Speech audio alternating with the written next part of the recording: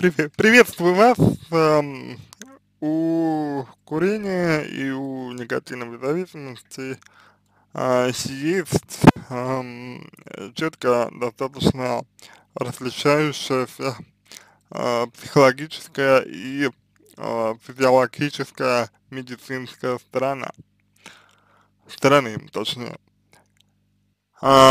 И важно эм, достаточно четко отделять а, психологическую сторону от э, физиологической стороны, потому что вещи до- достаточно разные, хотя и э, часто, э, гораздо чаще, чем хотелось бы, люди эм,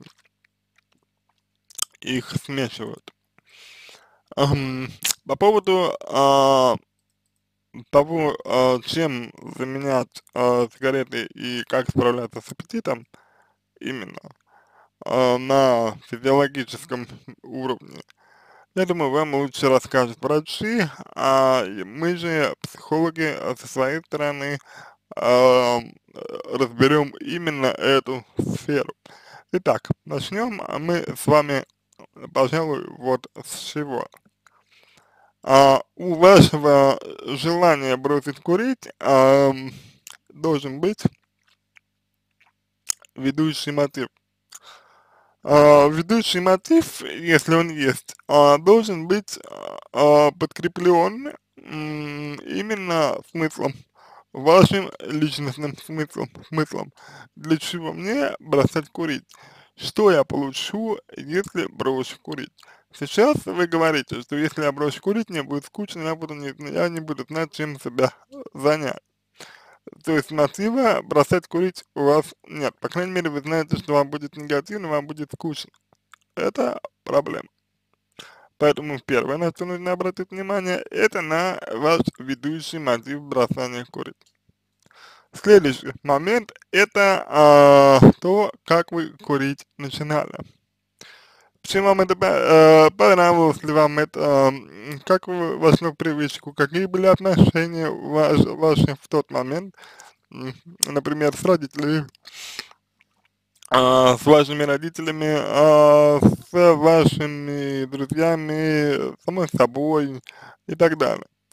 А, сигареты по э, общему правилу, равно как и э, повышенный аппетит, вот, э, связаны с несколькими весьма важными психологическими процессами в жизни человека и с весьма серьезными внутренними конфликтами. А, в частности, никотиновая зависимость или э, вот э, такое вот табакокурение, это э, оральное поведение, а, за которым стоит потребность в любви. Здесь можно говорить, что вы нуждаетесь в любви.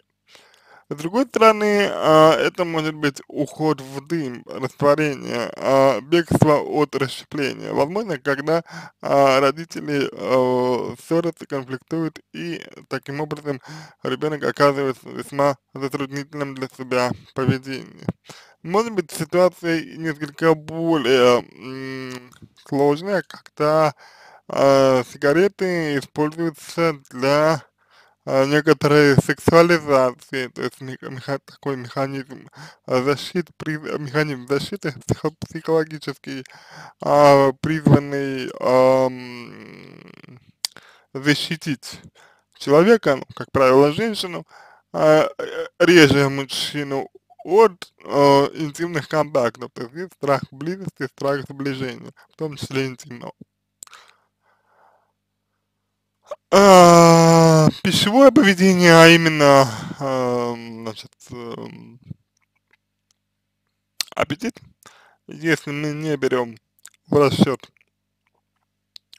а, ну, вот, физиологические основания, да, корреляции с э, никотином а, и процессами никотиновыми в организме, а, то это тоже потребность любви, это желание защититься, то есть это вот ненадежность ваших а, психологических границ, личных границ, а, размытость э, личного пространства, вот, ну, соответственно, иногда это такое же желание отгородиться от контактов. Но в связи с тем, что вы упомянули скуку, о том, что вам нечего будет делать, и в связи с тем, что вы сказали, что хочется есть, набитый желудок, я полагаю, что здесь имеет место быть определенная внутренняя пустота. А скука представляет из себя следствие оторванности от собственных чувств, от собственных желаний. Значит, иногда это один, одно из проявлений а, депрессивного состояния, а, личностного кризиса, когда человек теряет смысл жизни, не очень понимает, куда ему идти и так далее. В этом случае все используется для того, чтобы заполнить э, определенную пустоту. Пустота может быть, конечно, как приобретенной, так и такой фоновый, то есть идущий с детства, но вне зависимости от этого ваша скука это серьезная психологическая, это серьезная психологическая проблема. А, соответственно, с ней, со скукой, и нужно бороться. Я бы не сказал, ну не бороться даже, а работать, работать неправильно сказал, бороться ничем не нужно.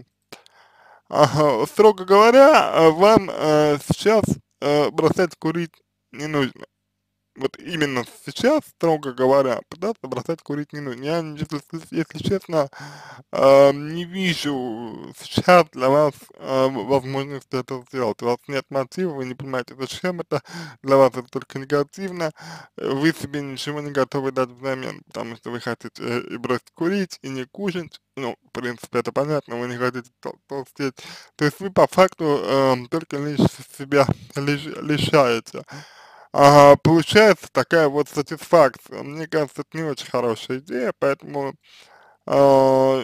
я выскажу, наверное, не самое популярное, э, ну, как бы, мнение, но вам э, сейчас бросать курить не имеет смысла вообще никакого, а вот, куда важнее сейчас вам заняться с психологом, поработать, э, решить какие-то внутренние конфликты, проблемы, поработать с чувствами, чтобы не было скуки, сделать так, чтобы э, параллельно, вот именно параллельно вместе с сигаретами вместе с э, чем-то привычным у вас появилось что-то еще, на что бы вы могли опереться. Пусть это будет любимое дело, пусть это будет хобби, творчество, увлечение, какая-то идея, цель, стремление, вот. И вам будет легче отказаться от сигарет в таком случае. Легче от сигарет будет отказаться и в случае, если а, ваша потребность в любви, а и, соответственно, подкрепление ораль, орального поведения сойдет на нет. А, в этом случае тоже будет а, достаточно ну, легче, будет, будет легче, будет легче вам. Вот, а, вот то, что я могу сказать.